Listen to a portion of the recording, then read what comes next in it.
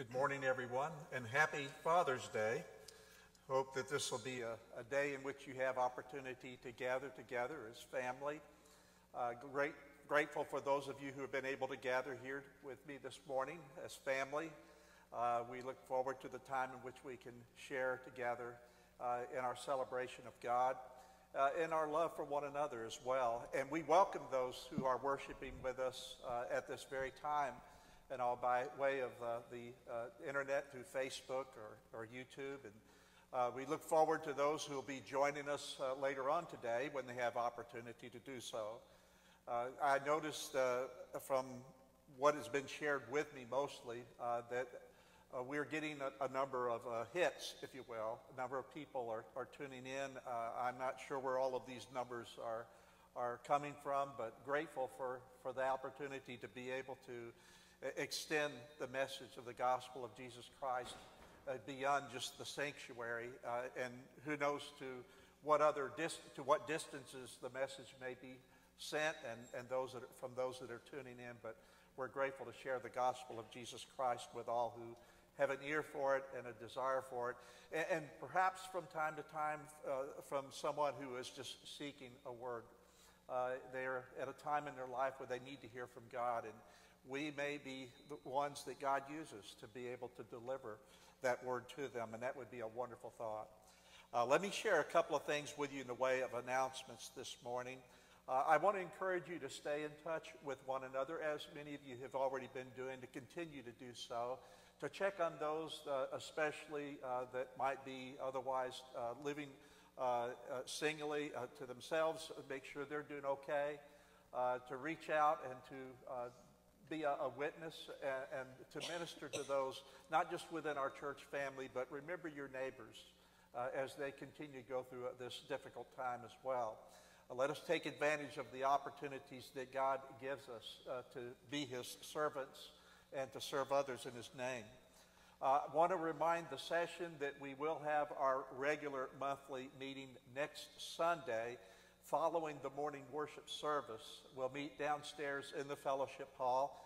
Uh, so please keep that in mind. Make a note of it uh, for any of the uh, uh, elders that are in a session that are not present with us this morning. Make certain that they get that message, if you will, please. Uh, I'm going to be doing a Bible study in, in the very near future. Uh, I'm going to get with Patrick. he's been my helper at doing these these Bible studies and going to set it up at a time when it's convenient for him, and I'm going to try to put together a couple of lessons each time so that we won't have to get together so often. But it's going to be on the book of Jonah. Uh, I want you to be looking for that. It, it, won't start this coming Wednesday, but I'm going to have it where it'll be out on Wednesdays. Uh, and it'll be for four sessions. Uh, so be looking for that. Hopefully by next Sunday, I'll, I'll, have you something more definite so that you'll be able to know exactly when it's coming your way. Uh, again, I appreciate everyone who is uh, still trying to uh, keep the, their classes going or, or, their studies going with, their, uh, with, with one another in, in the Bible uh, by way of FaceTime or, or whatever way that you're choosing to do it or you're able to do so. I, I appreciate your, your effort here in that manner. Uh, several churches, uh, other Cumberland churches, have started meeting again, some on a, on a limited basis, as we are here at Rocky Ridge. Uh, some are even beginning to, uh, to do other things as well. And we'll be talking about that in the session and as we look down the road as when it's a, a good idea for us. But we'll continue as we are right now uh, until we feel that it's time to, to take that next step. So be praying for us for the wisdom we need from God to be able to, to know how to, to make the kind of decision that will impact the church family for the best. Are there any other announcements that need to come before our church this morning before we get started into our worship? If not, let us open with prayer. Our Father, we want to first of all express our gratitude to you, our Heavenly Father for your understanding heart, for your mercy and your goodness. And uh, we hope to be children that please you uh, in our thoughts, uh, in our words, in our actions. We thank you for being forgiving toward us when we have sinned, and we do ask for that forgiveness, Lord, for we need it so often. Help us to be mindful that in our own weakness before you, others are weak as well. And sometimes we're weak in our relationships with one another and we sin against one another. We ask that you help us to be forgiving and help us to also receive that forgiveness with, with the kind of heart that our Lord Jesus would want us to do so. Thank you for bringing us here today for this special time of worship and for others who are joining us as they can. Draw all of our hearts together with you as one. Accept our offering of praise and thanksgiving, Father, as our gift to you today, as well as other ways in which we can also issue our, our express our love to you. But we pray that you will draw near to us as we have as we seek to draw near to you. And we'll give you the glory and the praise through Jesus Christ our Lord. For it's in his name we pray. Amen. If you would like to stand and join us as we sing this morning.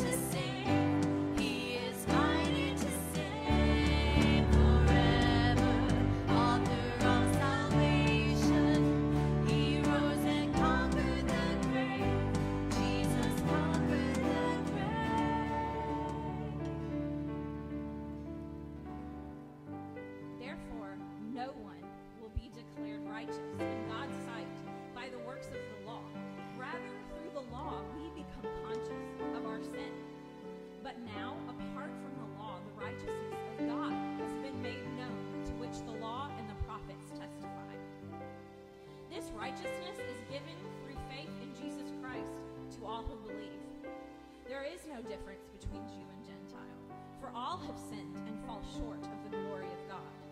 And all are justified freely by his grace through the redemption that came by Christ Jesus.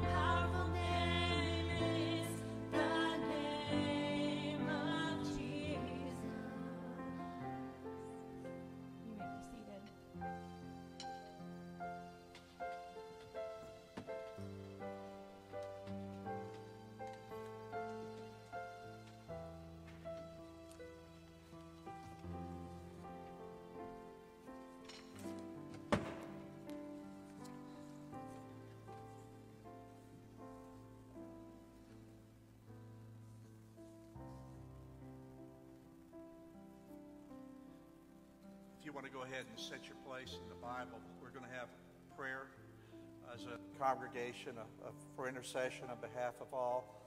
But uh, before we do that, uh, let me let you know where we're going to be. Psalm 145.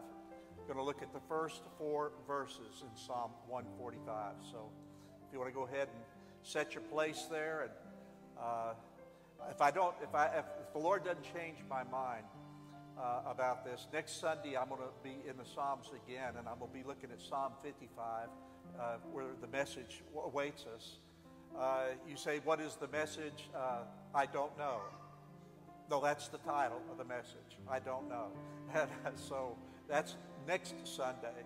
Today, I'm going to talk about passing the baton. Passing the baton. And we'll talk more about that in a few moments.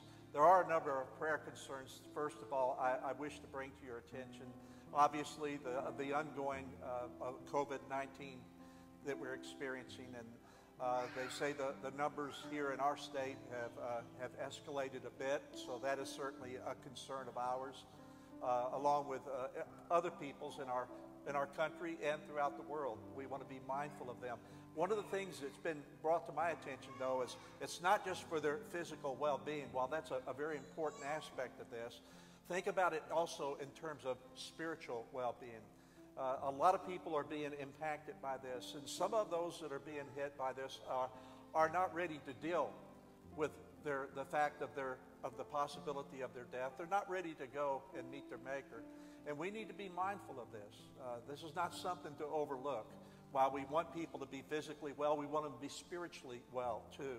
We want them to have a, a right relationship with God. And uh, for if we are at the point of, of having to deal with the fact of death uh, in, in a most personal way, if it's coming, we want to be ready for that moment when it comes, when that time we are called out from, the, uh, from this life that we know here on earth. So let us be mindful of those, uh, not only their physical well being, but think about their spiritual well being too and pray that they're ready to deal with whatever they have to deal with at this time in their life.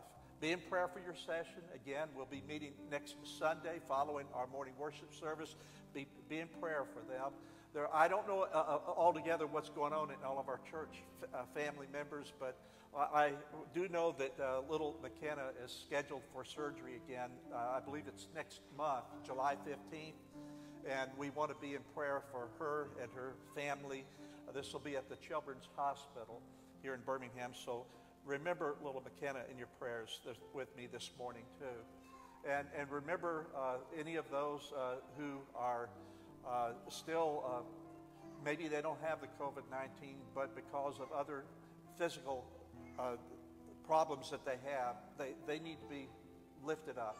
They, they're concerned about their, their overall well being because of their, their vulnerability. So please uh, pray for them and pray for their peace of mind. And I'll pray that they, their trust in God and uh, will give them that peace that they, they might need at this particular time and ease any of their concerns. Pray for all of our brothers and sisters in Christ. There are still churches uh, that are uh, trying to determine whether or not it's, it's the right time for them to reassemble even, even in a simple way like what we're doing here this morning. Pray for, the, for God's guidance there uh, that they might know the right decision for their, for their church family. Uh, and also for uh, those in leadership throughout our, our denomination, uh, be in prayer uh, for them as they uh, are not only here, but they're also looking elsewhere, trying to help others deal with, with the things that are ongoing in their lives, looking for direction and encouragement along the way. So let's be mindful of this as we pray together too. Father, as we come before you this morning, we do again with grateful hearts. I'm so glad to be able to stand here before you and before your people.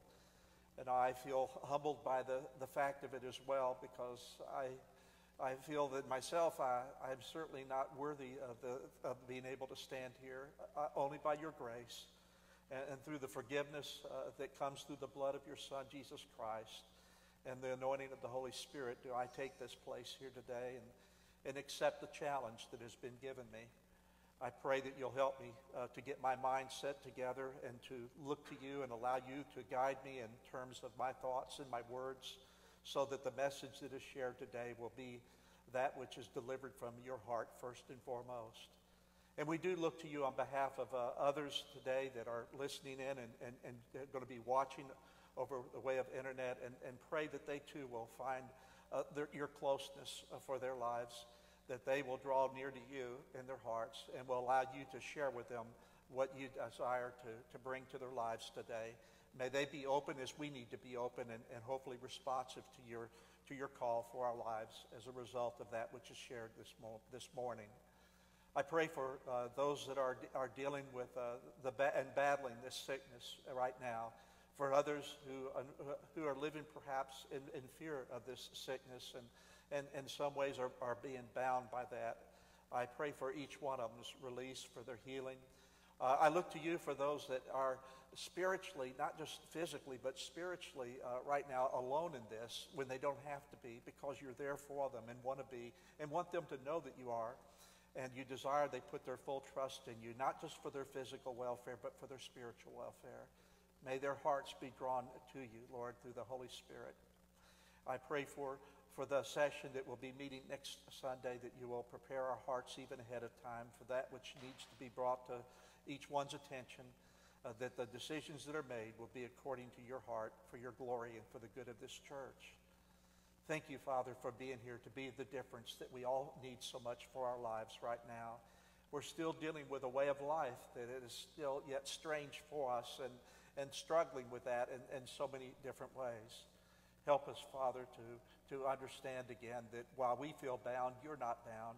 And may we find a new sense of freedom in that fact knowing again that you are able to set us free in ways that are, are not necessarily seen or, or understood with the human mind, but they work nonetheless. Just like you set your apostle Paul free, even when he was in chains and in prison, you gave him a greater freedom and all than any could imagine. May we sense that your presence with us and experience your freedom as he did as well. To you, Father, we give the glory and the praise. Now bring our hearts together with you, our ears Make them attentive, Father, to what you're going to share with us for your glory, for our good.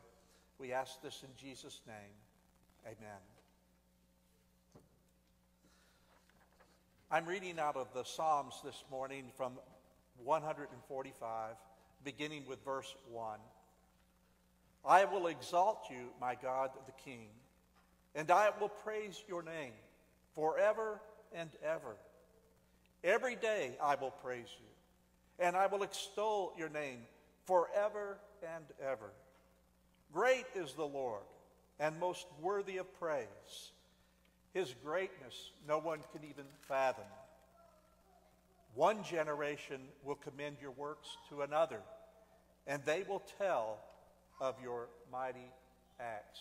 And it's that fourth verse that really grabbed my heart and my attention that I'm going to lean upon as I lean upon the Lord to share what I feel is his message for us today passing the baton. Passing the baton. Years ago, when I was pastor here at the Rocky Ridge Church, way back into the 1980s now, uh, I was working out at a gym uh, on Highway 280. And while I was working there, someone came over to my side that I had become friends with, uh, and he wanted to introduce me to a young man the young man's name was Willie Smith. I don't know if you, the name Willie Smith even means anything to you at this particular time, but Willie Smith was pretty popular at that particular time anyway, because he was a part of the 1984 Olympics men's relay racing team. He raced on uh, the team, the 4x400. And I've, I've, got a, I don't know that you can even see this, but uh, it's a t shirt that that Willie signed, autographed for me, and gave me, and I've held on to it all, all of these years. Willie Smith, 1984 Olympic gold medalist in the men's 4x400 relay. That's really something. Uh, but I got caught up in a conversation with Willie about racing, uh, uh, relay racing, if you will, and, and the particulars of it. My, my interest was you know, uh, Willie, uh, you know, this, this relay racing, uh, what's the, the, the most important thing? And he looked at me and he said, that you don't drop the baton. you don't drop the baton. That's important. And, and he went on to talk about uh, the importance of the, uh, uh, and, and the, uh, all that went into the, the passing of the baton. And I, I didn't realize, you know, it looks so simple when you're watching it, you know. It, it doesn't look all that complicated, but, it, but it, it can really be. He told me, he said, actually, whether you believe this or not, it takes a whole lot of, of discipline and practice and even communication uh, uh, to get it right. And you, and you, don't have a lot of chances to do that in a relay race. So you, you want to be sure you're as close to being, I guess, perfect as you possibly can be at that pivotal moment. And while I've never run in a relay race uh, myself, I can only imagine how exciting it must be and how the adrenaline must be really pumping at that moment when you're handing the baton off to the, the person who's next to, to take it up and, and run on with it. And I can also think how scary it might be. You know, what happens if I stumble at that moment? Or what happens if I make a miscalculation or, or the person I'm handing it to uh, makes a, a, a miscalculation and, and, and we drop the baton in the doing so? All that hard work, all, all, that training and what have you would, would suddenly uh, be no, no good. It would be at loss. I kind of believe in my mind that there's something to this also in what the psalmist says when he says, One generation will commend your works to another, and they will tell of your mighty acts. I kind of see this as the passing of the baton, if you will, uh, of the handing off that which able to give their, their level best. They might not all be on the same level in terms of their, of their ultimate abilities. But they use their, their uh, ultimate abilities, each one of them, to be able to be sure that it succeeds for the whole. And that's what we have to do as well. So, how do we commend? How do we commend this, this gospel? How do we commend the Word of God to those that we, we love so dearly, that we desire to have a love for Him and, a, and, and, and follow after Him? Well, I believe we find yet another place in the scriptures that will help us to understand what the psalmist is talking about here. And for that, I ask you to go with me to Deuteronomy. In Deuteronomy chapter 6, Moses is speaking at this particular point to the people of God. They have been in the wilderness for some time now. They, have left, they left Egypt long ago, but they've been in the wilderness for a while. They have not yet arrived where they are, are supposed to be, but they're getting close. And he gives them some instruction here that I want you to listen to. You know these words perhaps already very well, but hear them again. Deuteronomy chapter 6, beginning with verse 4, it says, Hear, O Israel, the Lord your God, the Lord is one. Love the Lord your God with all your heart, and with all your soul, and with all your strength. These commands these commandments that I give you today are to be upon your hearts. And also impress them, impress them on your children. Talk about them when you sit down at home and when you walk along the road and when you lie down and when you get up. Tie them as symbols on your hands and bind them on your foreheads. Write them down on the door frames of your houses and on your gates when the Lord your God brings you into the land that he swore to your fathers, that is, to Abraham, Isaac, and Jacob, to give you a land with large, flourishing cities that you did not build, and houses filled with all kinds of good things that you did not provide, wells that you did not dig, and vineyards and olive groves you did not plant, then you will eat and become satisfied. Be careful that you do not forget the Lord who brought you out of Egypt, out of the land of slavery. I have to remind myself as a parent to not forget. To not forget because in remembering what God has done for me, it helps me also to, to remember what He needs to do and He desires to do for those that I love in my family.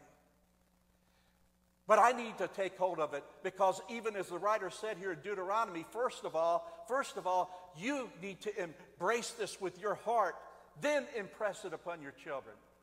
Sometimes I wonder if parents are trying to impress upon their children what they have yet to embrace within their own hearts.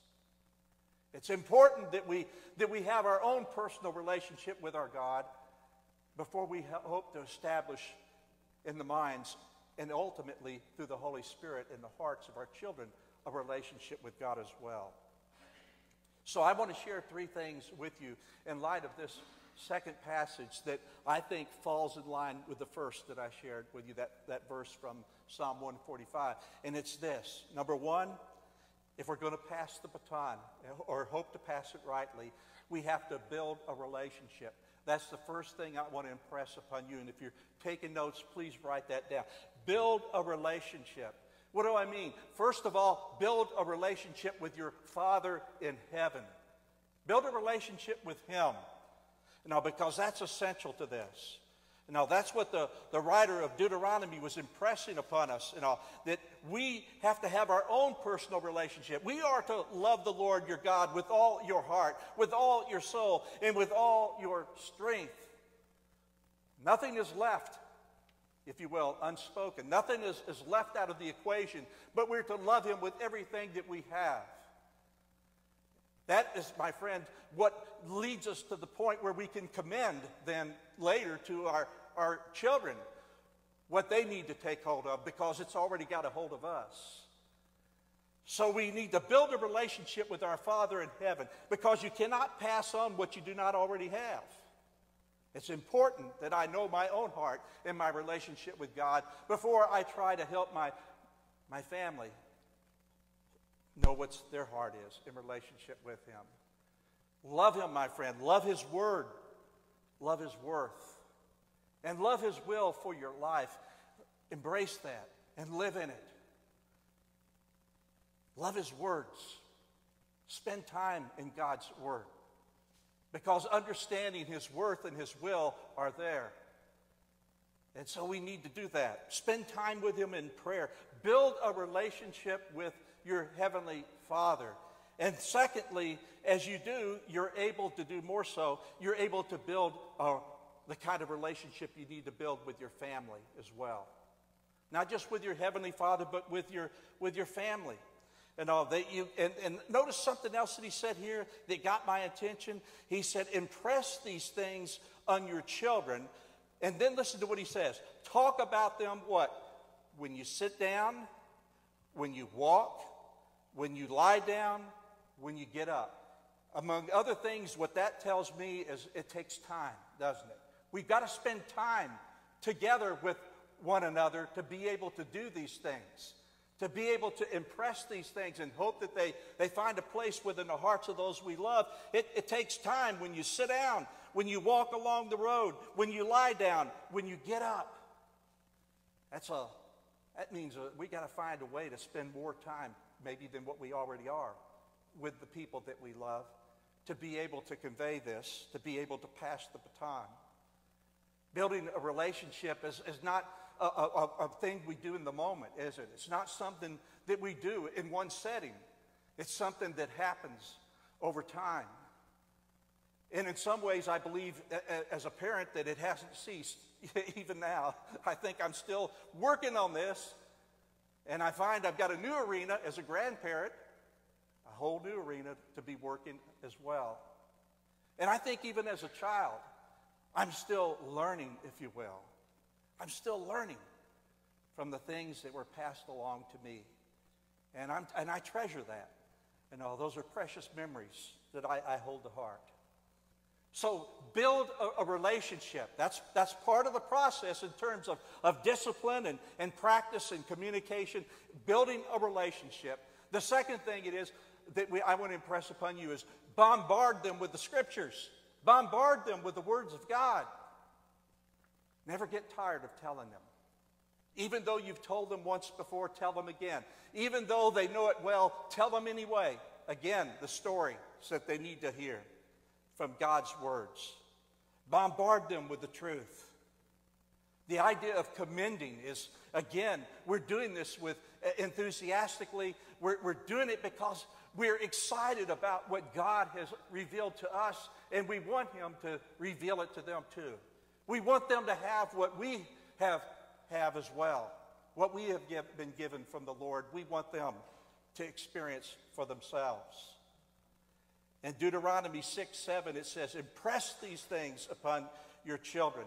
And so I, have had people tell me from time to time, Preacher, I don't know about this idea of bombarding my children with the truth. I, I don't want to you know, push God upon them. You know, I don't, I don't want to, to, to, to I, I may run them away from the church or run them away from God rather than to God. Let me tell you, you live in a world that's not afraid to bombard your children with all kinds of stuff. You live in a world that does not, is not afraid to try to impress upon them certain ideas and certain beliefs that are contrary to what is in this book right here. And if you hold back, believe me, the world is not going to be holding back.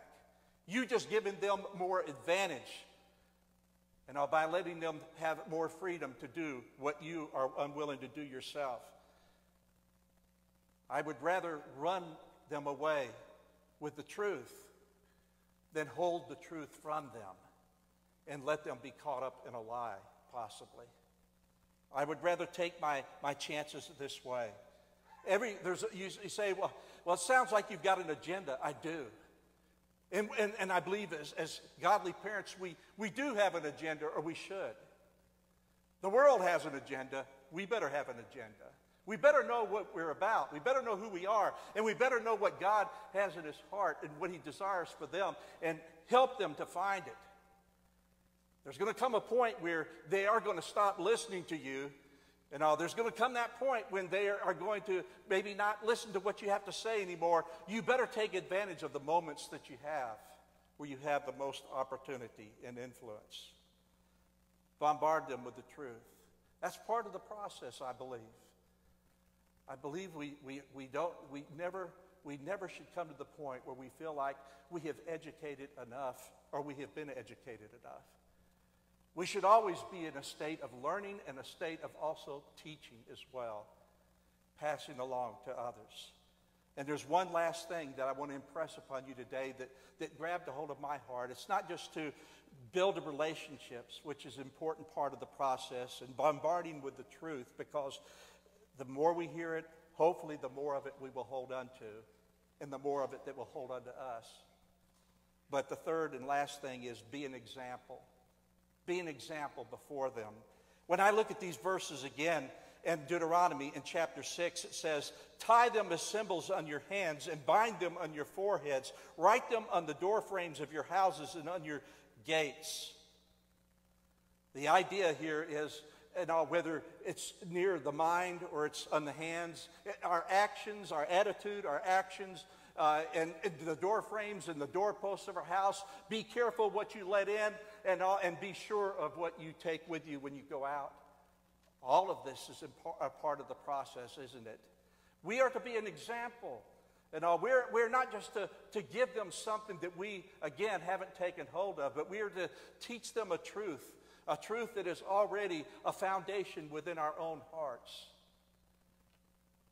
Be an example of this truth not only in your words, but in your walk. Let them see it. You tell them this is the way people ought to live, then live that way before them. You tell them this is right and this is wrong, then show them by your own example, by doing what is right and by not doing the things that you know to be wrong. If you believe that it takes a, a complete commitment of one's heart, then let your heart be completely committed to the Lord in every way so that they can see this. Paul understood what, what this was all about, and when he was writing to Timothy in his last letter in 2 Timothy, he wrote these words. He said, Timothy, everyone who wants to live a godly life in Christ Jesus, they're going to find it very challenging. He speaks of persecution, and it comes with that, and with problems. He said there are going to be evil people, imposters, uh, imposters out there, and things are going to go from bad to worse. There's going to be a lot of deception, and there's going to be people being deceived.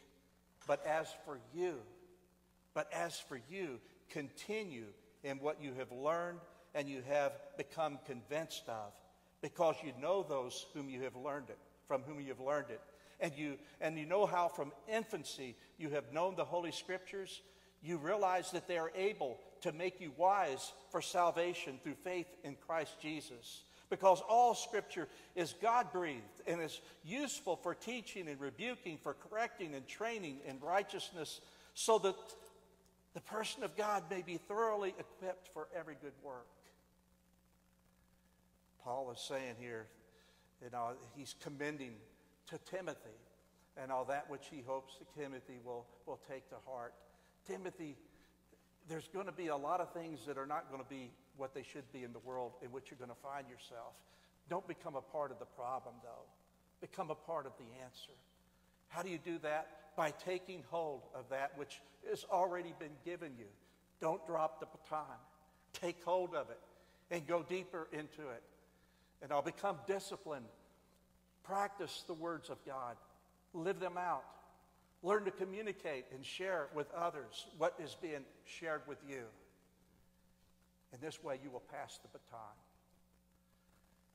And hopefully, the one whom, you pass it to will be able and ready to take hold of it and continue to the race that is set before them as well. I mentioned Josh McDowell, and I'm going to close with this. I mentioned him er- earlier in my message. Now, I, I don't know that I altogether agree with everything that Josh McDowell has written, but it does make you think. The church, he said, has always been one gener- generation away from extinction. The church has always been one generation away from extinction. If a whole generation were lost, he said, we would lose the church. But even a single individual lost to the gospel of Jesus Christ closes the doors for a lot of other people. Just as one person who is born again into the kingdom can become the seed by which many will enter into the kingdom, one who is lost to the kingdom can also result in the doors being closed for many generations of descendants unless the Lord reaches out to bring some of them back. I don't want God to have to look past me or to look beyond me because what I, I refuse to pass the baton or because I dropped it through my rebellion and, and through my rejection of what his heart was for me to do with it. I, I don't want to become that, and I know that you don't either. Ask God for the strength.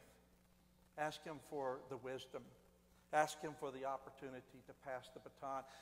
And not only within our families, but within our other relationships as well, to hand off that which others can take hold of and run with themselves so that it might be handed off to someone else too. It's a wonderful picture there that God gives us. And it requires us now to give ourselves first and fully to Him so that we can give ourselves in this way to one another. Let us pray. Father, I thank you for these words today. I thank you for the challenge that they have brought to my heart, and I pray that they have spoken to the hearts of those who have heard them and that they will be received as you want them to be received.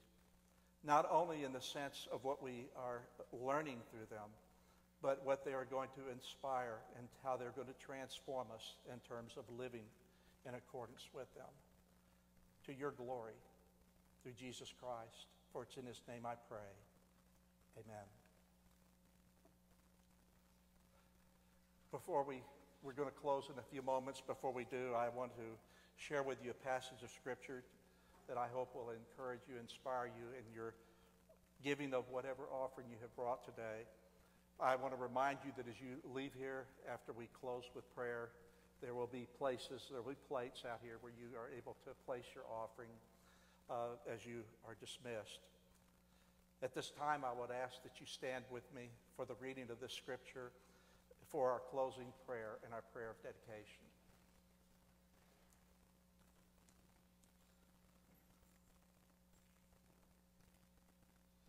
When Paul was writing to the church at Corinth, he instructed them with these words Each person should give what they have decided in their hearts to give, not reluctantly or under compulsion, for God loves a cheerful giver. Let us pray. Father, we pray that you will accept the offerings that we bring to you today, that you will bless these gifts. You will inspire those that are instructed to use them according to your purpose for your glory. We thank you, Father, that, uh, for blessing us to the point we are able to give, allowing us then the opportunity to express that in this manner. Dismiss us now as we leave here and help us to walk in your spirit throughout this day. Help us to live a life again that you know, is in honor of you, a help to others, one that'll bring peace to our own hearts because of the oneness that we share in this walk. Through Jesus Christ our Lord we pray. Amen. You're dismissed.